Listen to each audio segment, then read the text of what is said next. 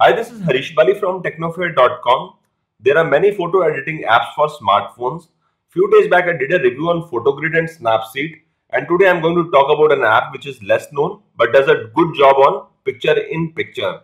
Friends, I am talking about PIP camera. You can go to Play Store and download it from there. For ease I have connected my Android device with this system. App name is PIP camera I've got, already got this installed. So I'm opening it. Open. This is the homepage of the app. Let me first share few cool things that can be done under classic mode. I can choose an image or can take a selfie to begin with. So I'm taking a selfie. Okay. After selecting the image, it has automatically added an image to the template.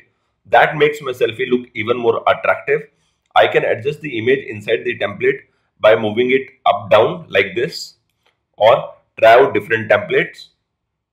If I need to see more templates, simply tap on this download and there are a host of templates to choose from. Move the image. I love this app for its functions on picture in picture. I can easily change the foreground image or the background image from here I would prefer to change the background image. This is the image that I would like to put in the background. Here it is. Tap on next. Tap on save after making changes in foreground, background or both. Save.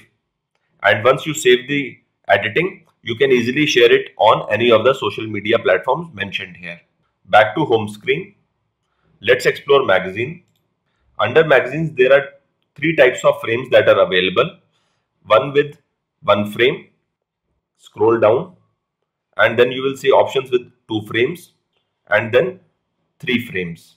Under the first option, you can choose one frame at a time and edit it in the form of a magazine cover.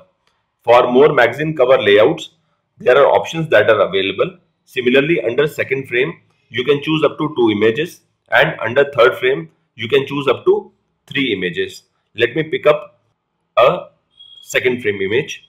So I'm picking up images from my camera, any two random images. Next. So these are the two random images. One can easily reach out more magazine cover options by clicking on this download option. Back to the home screen. Under the collage option, I can create an image collage by selecting up to 10 images. I'll pick up some random images from my camera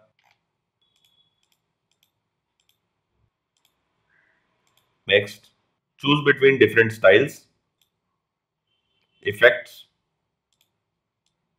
outline or radius. Similarly you can also change the background. Whatever suits once done simply save it. Let's go back to the home screen. Let's explore pro edit I can edit any single snap using these filters, stickers, text, edit, mosaic and adjust options. I'll tap on filters. These are the various filters options that are available. Go back and there are a host of stickers that are available. You can just pick this is your theme of the picture. Go back, easily write text on the image, tap to put input and you can easily rotate it the way you want to put it. Change the font, color. So I'm writing, hello friends. Move it around on the screen and save it. Let's go back. This adjust also has got some of the good filters like contrast, saturation, sharpen. So you can decrease it or increase it the way you want to really work on these filter parameters. Go back, stretch. So you can stretch any particular portion. Supposingly, if I wanted to stretch this particular portion, I can simply increase the stretch. Can you see the difference? Bring it to the normal level. Back to the home screen. This is an ad running on the home screen. So be sure before you click on it Instamag and PIP lock screen. These are the apps which you can install and try out if you really want to try out other photo editing apps. I hope you found this PIP camera app useful. I am sure you are going to love it too using the picture-in-picture -picture editing mode.